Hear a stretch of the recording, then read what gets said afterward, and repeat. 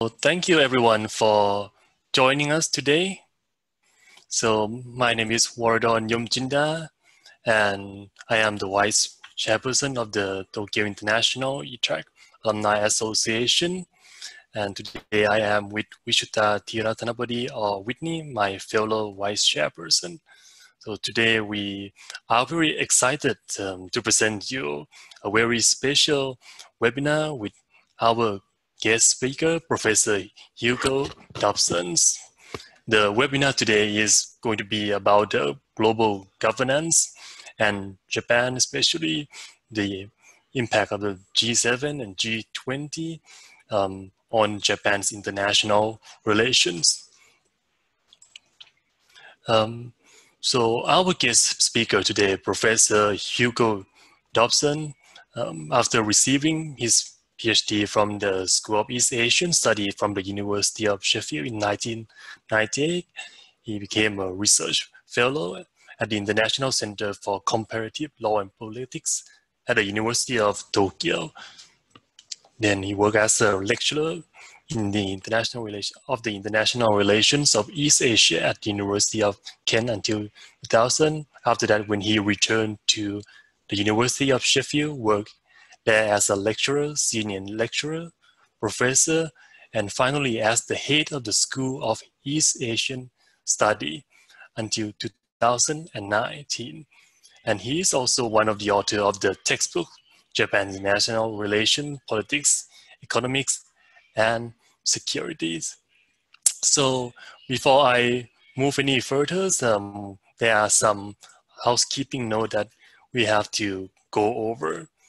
Um, so as you can see for all the attendees in the chat room, when you look at the lower tab, you can see the Q&A bar.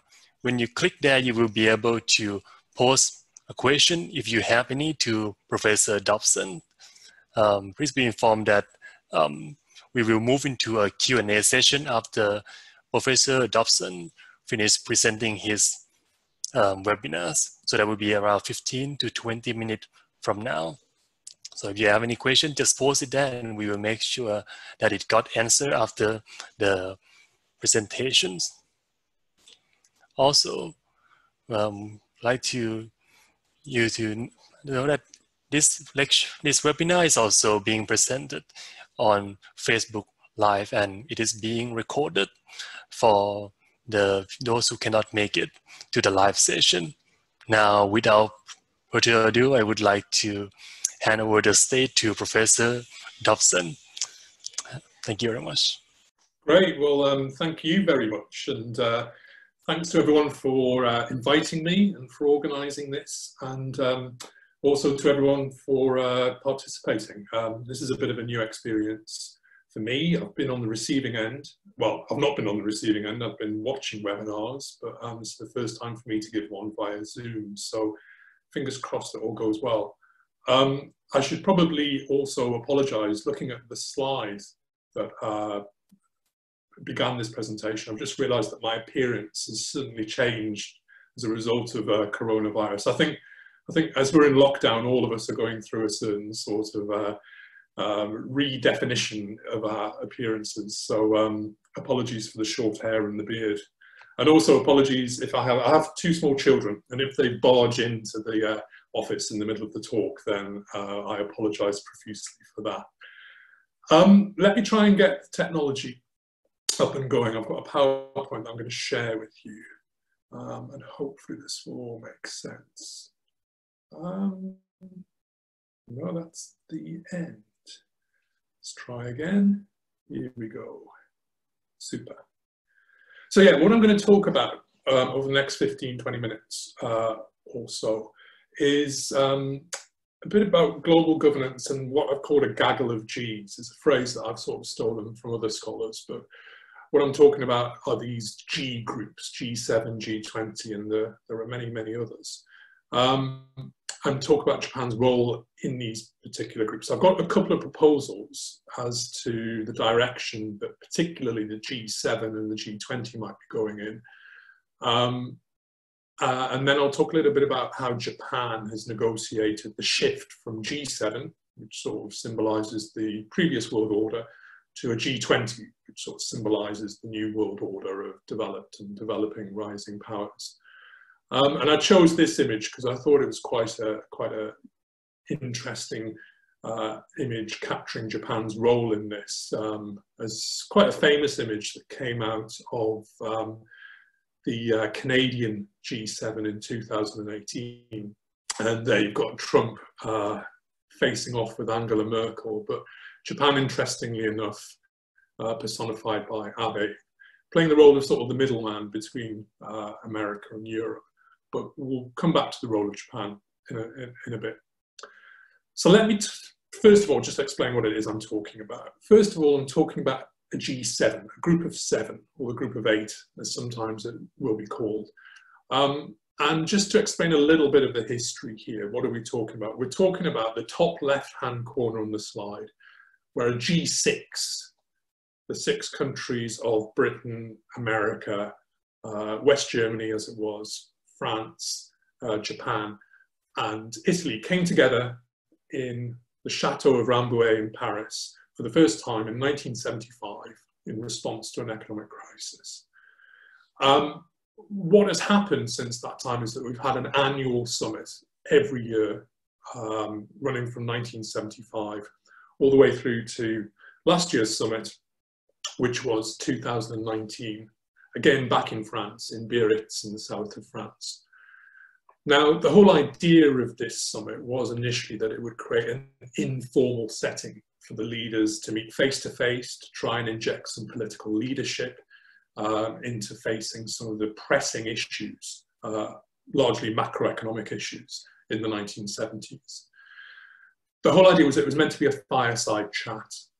The leaders wouldn't necessarily have an agenda, they wouldn't issue a communique. In the end, they did issue a communique, but the idea was it would be kept informal as possible bureaucrats wouldn't be leading it, there would be no formalization of the G7, it would be an informal fireside chat uh, amongst like-minded leaders. Now, over time, um, this has expanded. I mean, it was only ever meant to be uh, a one-year meeting in 1975, but they met the following year. Uh, they found that it was actually quite a useful mechanism. Um, new members joined. Canada joined in 1976. The EU joined in 1977. Uh, Russia joined in 1998, although its membership was suspended in 2014 because of uh, invasion of the Crimea. Um, its agenda is adapted and changed. It started looking at macroeconomic issues. It then started to deal with security issues in the Second World War, then on to um, uh, aid uh, in the African continent and climate change. Um, so it is, it's, it's, it's evolved over time and um, it's evolved in terms of its membership, in terms of its agenda, um, and it's still going. People have often said, well, the G7, why does it meet? What role does it play? Well, um, it still continues to meet because the leaders find some kind of value in it. Now, just to um, stress what kind of role, um, hang on a second, what kind of role the G7 plays, what kind of um, forum it actually is. Those of you who've studied European history might well um, have come across this, the Concert of Europe. This was essentially the collection of great powers that redrew the map of Europe after the Napoleonic Wars. So they were all great powers who recognized each other as great powers. Um, they met when was necessary to address issues that arose, um, crises that might have uh, developed, um, and they expanded their membership. France was eventually included uh, within the Concert of Europe. Um, but it was informal. It was the personal encounter of these great powers, um, and it was an informal gathering interesting aspect, one of the many people who claim to have created the G7 um, is also one of the people who wrote his PhD thesis on the concert of Europe, Henry Kissinger. And people often talk about the um, impact of academic research.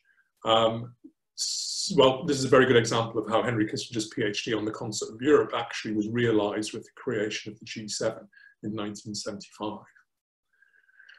However, more recently, we're not talking about a G7 so much, we're talking about a G20, um, especially since 2008. Now, in 2008, the G8, as it was before Russia's membership was suspended, was seen to have failed in dealing with the um, financial economic crisis that uh, emerged that year.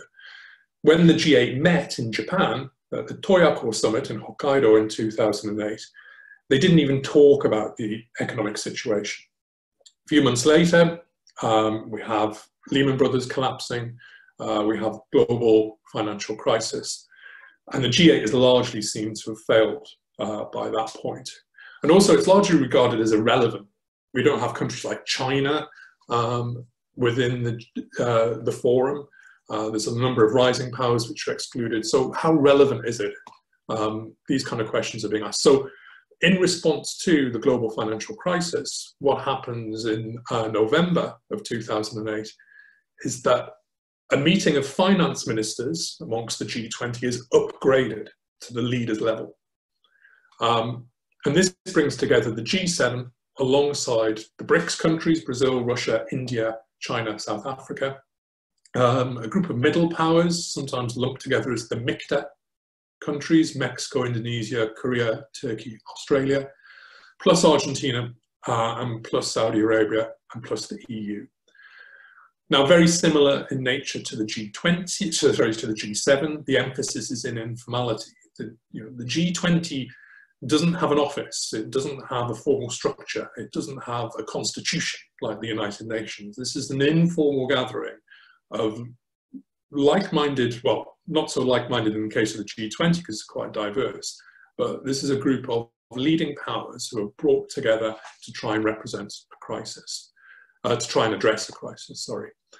Um, in terms of how the G20 is often seen as replacing the G7, statistics are often cited to bear this out. So, for example, um, the G7 represents 10% of the world's population, making decisions that affects everybody across the globe, but it only represents 10% of the world population. Uh, the G20 does better in this regard, it represents 65%. In world GDP, the G7 represents 40% of world GDP, the G20 represents 85% of global GDP. So by 2009, the G20 was able to declare itself as the premium forum for international economic cooperation. However, since that time, the G20 has gone through a similar process as the G7. Its role has expanded to include security, development, climate change, there are issues in the diversity of its membership. Um, there's also been the rise of the Trump administration, causing divisions within the grouping. And what we saw at the Hamburg summit in 2017 was a G19 plus one, with America going its own way over issues like climate change. It's also become unclear what the G20 actually is. It functioned very effectively as a crisis committee in 2008 2009, um, but it hasn't really evolved into a global steering committee that replaces the G7. And also the G20 has its own issues with that about representation, the kind of issues that the G7 had. So, you know, um, Professor Dobson, yeah. I'm sorry to interrupt you. We have um, one of the attendees told us that um, they could not see your sharing slides. Oh, okay. Let me try again. Let me check.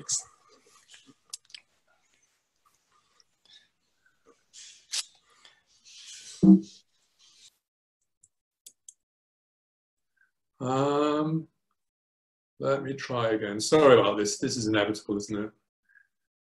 No, it's fine. This better? Technical, technical. Yes, now we see the slide, the group of 20, 2008 to 2019. Yeah. That's perfect. Thank you. Right. Sorry, apologies about that. As I said, this is the first time. Um, yeah, so the G20 has its own issues with um, um, legitimacy and representation. It only has 19 countries and one intergovernmental organization in the form of the uh, EU. What about all the other countries in the world who's, who are affected by the decisions that the G20 uh, makes? Um, so one of the issues that we've seen is this gaggle of Gs, as I refer to in the title. Um, the G20 has risen, it's had its issues, the G7 has continued to meet, and what we have is called a messy multilateralism, a gaggle of Gs, this rather noisy collection of Gs, where it's not clear what each group is doing, how it relates to each other, um, and it creates a very complicated situation. Now, I tried to capture that in the form of this uh, Venn diagram. Everybody likes a Venn diagram. Now, I failed, I miserably failed, but it hopefully gives you a sense of the complication that's going on here. Now, some people have said that there's a G0. There's actually, there's, there's no global leadership taking place. Um, some people have suggested that there's a G2, and that's China and America. Now, it doesn't obviously doesn't formally exist, but if we think of a G2 at the center, then we've got America on the one hand, which overlaps with the G7. We also have China, which is part of this BRICS group, which met as a G5. We've had a suggestion of a G14 at one point. Um, that was uh, a suggestion made by the French at one point, especially in the Arab Spring, where we were going to have a G8 plus Brazil, India, China, South Africa, Mexico, and Egypt. We've had a G16 proposed by Japan, um, which would include the G8 plus Australia, South Korea, Indonesia, and some other rising powers specifically to deal with climate change. We've then got a G20. Um, and then at the biggest level, you've got G194, which would represent all the countries in the world. Um, um, why don't we have that kind of organization? But we've got the United Nations, obviously. So it's created this very, very messy multilateralism. To try and provide a bit of clarity for the G7 and G20, I'm going to make two quick suggestions of what they might do in the future, and then we'll talk about Japan. Um, as regards to the G7, the argument uh, I would make is based on an article that um, I was one of the co-authors of called How Informality Can Address Emerging Issues, Making the Most of the G7. Um, you can download this from the Global Policy webpage. But what we basically did in this article was try to map all the various international organizations on two axes. One is how formal they are or how informal they are, and the other one is how diverse they are in membership or how like-minded they are. Now, what's unique about the G7 is that it's a very like-minded group, at least it was until the Trump administration. Um, but the Trump administration will pass, and the G7 still has a higher degree of shared values than, say, a group like the G20, where you've got um, European, West European countries sitting down with Saudi Arabia, sitting down with Indonesia, sitting down with Argentina, a very wide, diverse group of countries. Now, as I say, the G7's uh, unique characteristic is that it's very like-minded and it's informal. And we suggest that what the G7 can do is it can leverage those qualities to address unprecedented, new, highly disruptive issues that characterize our complex world. Where we have well understood international problems that fit into existing categories, then the G7 shouldn't attempt to try and do the work of those organizations for it. So, for example, we've got the Paris Agreement on climate change, diverse membership, but there's a formal mechanism, a formal home for that issue to be dealt with. The G7 shouldn't try and address those kind of issues. Rather, it's nimble, it's flexible, it should try and deal with those emerging issues. Issues like artificial intelligence or cryptocurrencies, issues that don't really have a home yet. That's what the G7 can deal with effectively. As regards to G20, the suggestion I would make here is something I've made in a different um, publication on the Global Policy webpage, and that's to do with the role of Asia. One important aspect of the G20 was that it expanded Asian membership from previously Japan being the only Asian member of a G7 now we have what some people have suggested could be an emerging Asian six. And that would be Japan, supplemented by South Korea, Indonesia, India, China, and controversial for some, but Australia would be, um, and certainly regard itself as an Asian country. Now, what has been argued is that um, these countries could caucus ahead of G20 summits, um, hammer out an Asian position, and go to the summit with a much, much clearer Asian uh, agenda that's going to be fed into G20 summits. Now, this has not really happened so far. Instead, these countries have had very divergent agendas. They've often been competing um, over the same role within the G20. They all want to be an Asian representative, or they all want to represent rising powers and developing powers. But recent developments have demonstrated that these countries could possibly have a more coherent role to play with each other. So if you look at the 2017 Hamburg G20 summit, you had on the first day, well, the day before the summit began rather, you had Korean President Moon Jae-in meeting with Chinese President Xi Jinping um, for a bilateral meeting to talk about North Korea.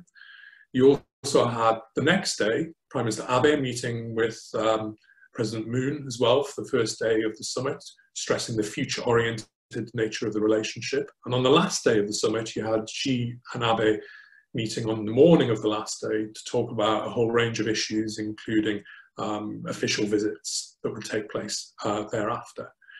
Now, build that up from bilateral meetings, you've got some kind of sort of merging trilateral uh, negotiate, uh, discussion taking place amongst these three leading Northeast and Northeast Asian powers. So you could see an A3 possibly emerging, and that, that could be expanded to an A6. Now, what this would require would be some kind of formal structure. And one thing I've suggested is that the Trilateral Cooperation Secretariat that was set up in 2011, the only intergovernmental organization to bring together Japan, South Korea, uh, and China, could possibly play the role of secretariat of an emerging Asian three at the very least. So they're my two suggestions for the G7 and the G20. What about Japan's role within this? Um, Japan's response to this gaggle of Gs, I suppose in some ways has been built around four elements and partly map across three different timescales. So I think on the one hand, bilateralism, and those of you who've read the textbook that we wrote together, Japan's International Relations, will see that we talk about these norms, if you like, as shaping Japan's international relations. So bilateralism, Japan has always put a strong emphasis upon bilateralism, especially its relationship with the US. And that is true within the G7. Japan always had one eye on the relationship with America, and that hasn't changed with the rise of the G20. Bilateralism is still hugely important to Japan's international role, Japan's role in global governance, and Japan's role in these um, G groups.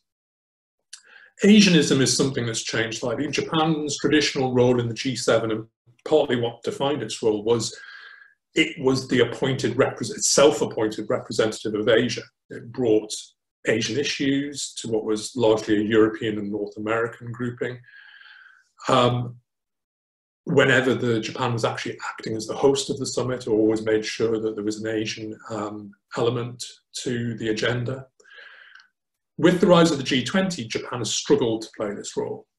Um, the inclusion of other Asian countries have created other rivals, and Japan was seen to have lost out to these rivals, especially in 2010 when South Korea hosted the first Asian G20, but also in 2016 when China secured the role of president and host of the uh, G20 summit that year.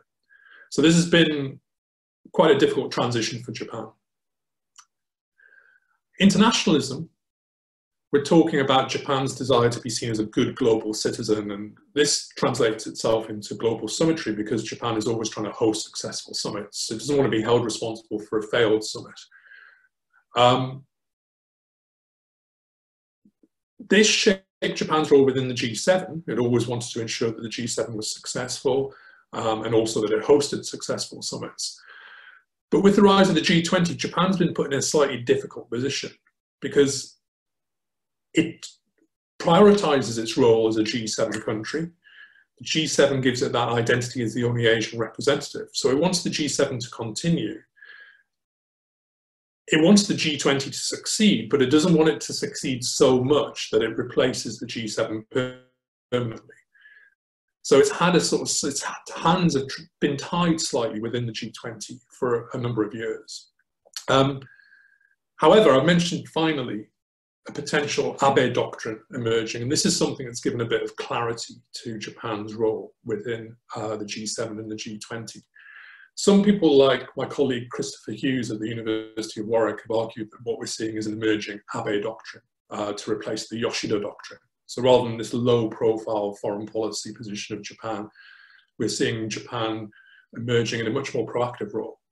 And this is characterized by, first of all, Japan trying to arrest its decline and secure its status as a great power. Secondly, overcome any perceived shackles that have hampered Japan's role to play a proactive role in the world. Thirdly, historical revisionism is an important part of Abe's uh, foreign policy, um, but that brings in a domestic element. And fourthly, um, Abenomics. Japan can't do any of these things. It can't secure its position as a great power um, without being economically strong. So these are the four characteristics that make Japan a more proactive player under Prime Minister Abe.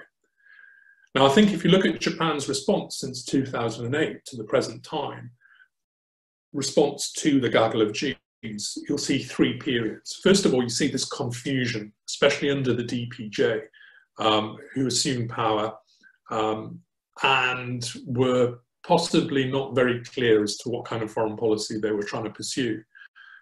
In the case of the G7 and the G20, this is very clear, um, the confusion. Japan was trying to struggle with the loss of its Asian leadership role.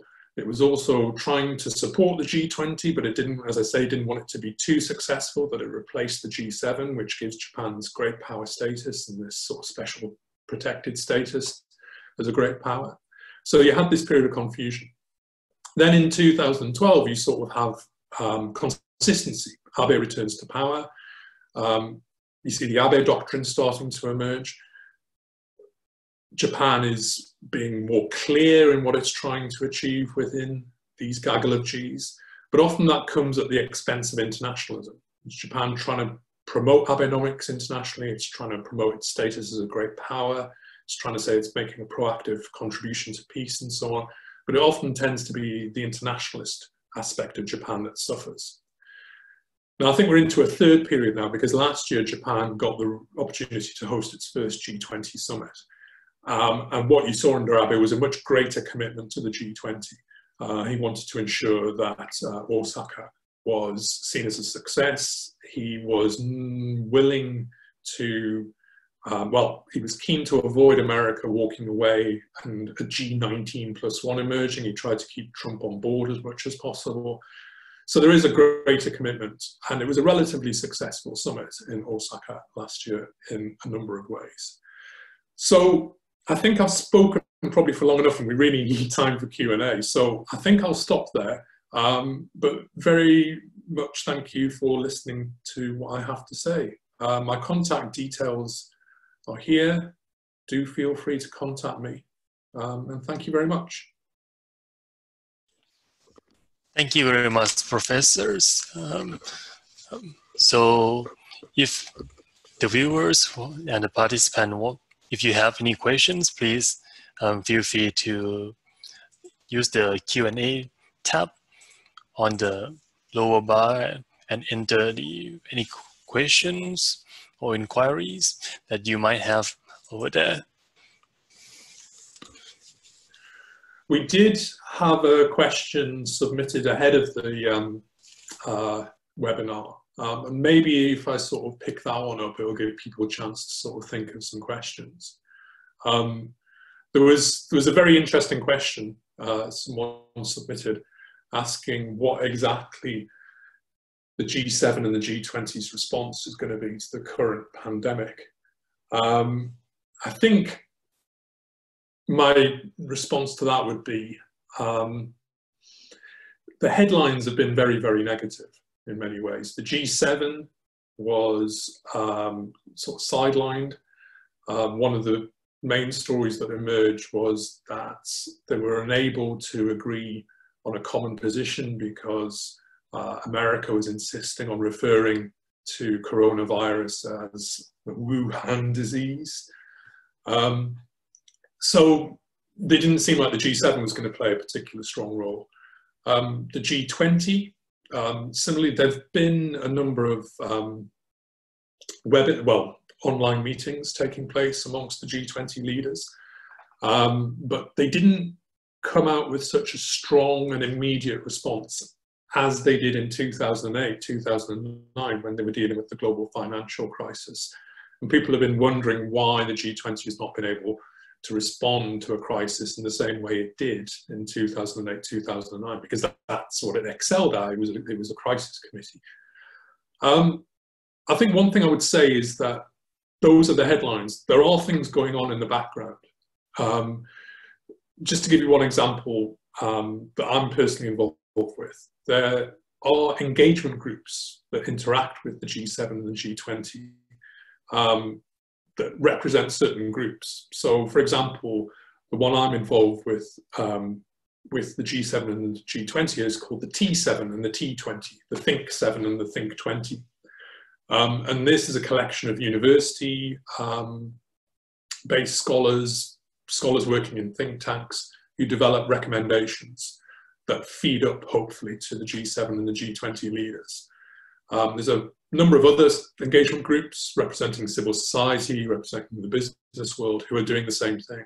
Now, these groups are meeting, they're making suggestions, they're building a statement, a platform which will be fed up to the leaders level.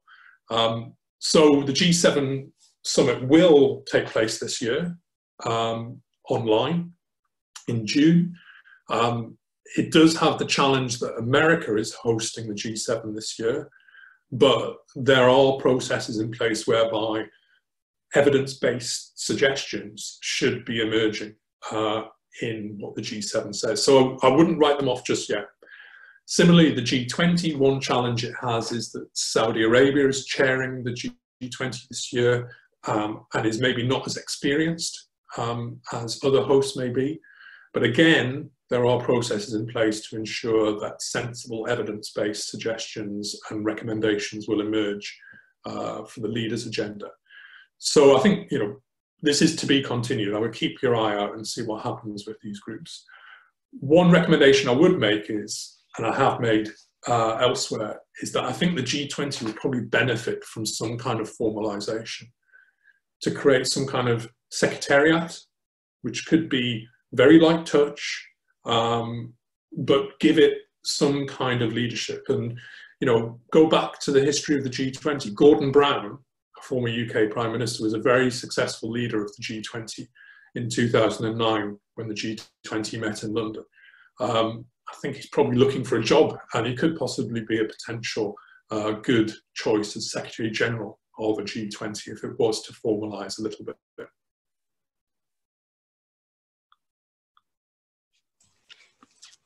All right, thank you very much, Professor Dobson.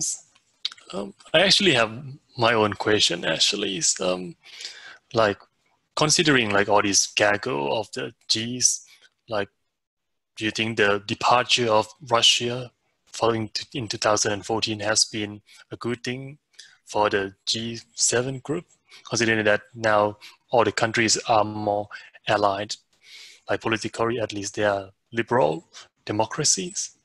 Mm.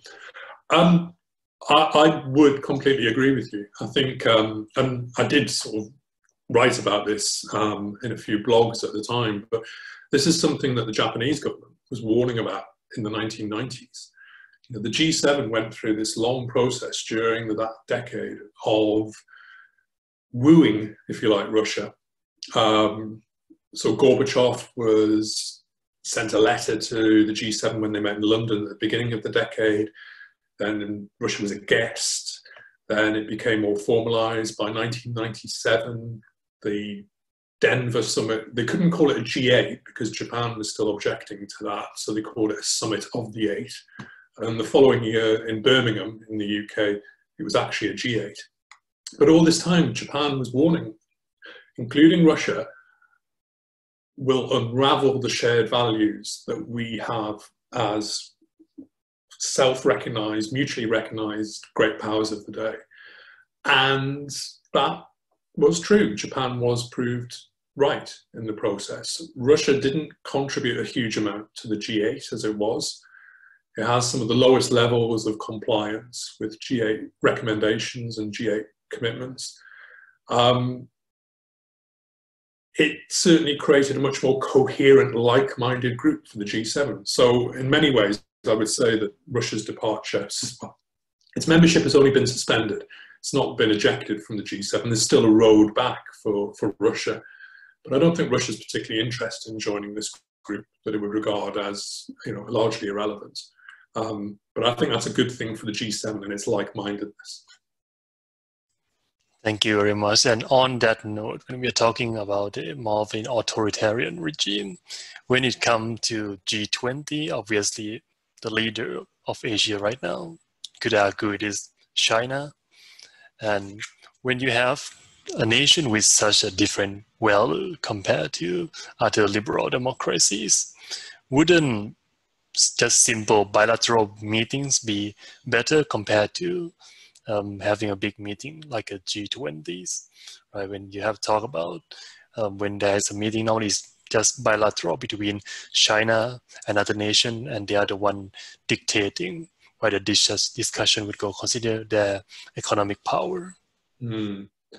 No, I mean that, that's that's a very good point, and that is one of the weaknesses of of the G20 is that it is such a diverse grouping. Um, you know, if they're, you, if they're going to address certain issues, you have to ask why are certain countries at the table? Do they actually have anything to contribute to a debate around um, aid to Africa, for example? Um, now, some people have suggested that what we need is a sort of variable geometry, but depending on the issue, that dictates who's around the table um, and you have the most important stakeholders um, at that time. And that could be something that would be very difficult to organise, but it could be something that um, might emerge in the future. It would only make this gaggle of Gs even more confusing. But I mean, one thing the G20 did do was that it showed in its early years, in 2008 2009, it showed that it had the right countries around the table to address a particular crisis. Um, and that has been, you know, the success story, the headline for the G20. It has found it difficult to replicate that kind of success, especially with coronavirus. But this goes back to my previous answer. Coronavirus is a very different issue from the global financial crisis. I don't think the G20 is necessarily the right country to be dealing with uh, coronavirus. Um, so, yes, one point you raise. Well, so what I would say is that having all those countries around the table can be powerful if it's the right issue and the right time. One thing about these summits is they're not just about the multilateral meetings. They're also about those bilateral meetings are a hugely important part of what happens at a summit. Um, so we shouldn't keep it, take our eye off what happens with those kind of bilateral conversations, whether it's Obama and Putin meeting on the edge of the G20 summit in Turkey to talk about the situation in Syria, or whether it's the three East Asian Northeast Asian countries meeting on the edges of the Hamburg summit. These are hugely important parts of what happens within a summit. Um, it's the bilaterals, it's the multilateral meetings, it's the stakeholder groups like the T20 and all the civil society groups. This almost creates a kind of sort of circus, if you like, of what G20 summits can be. Thank you. And considering the next G meeting is going to be virtually online, perhaps? Like, how is this going to impact the event now that the leaders no longer have a face-to-face time to maybe have? Yeah, that's that's why I'm really interested in seeing how this works. Um, I mean, as I've demonstrated very clearly, technology isn't necessarily your friend, and you can have mistakes happen. Um, but also the fact that these groups, as I said, their defining characteristic is their informality. They're all based around their personal encounter, sitting down face to face with these people, getting a feel for what your fellow leaders are like, building up those interpersonal relationships. This is going to be very difficult to do this online.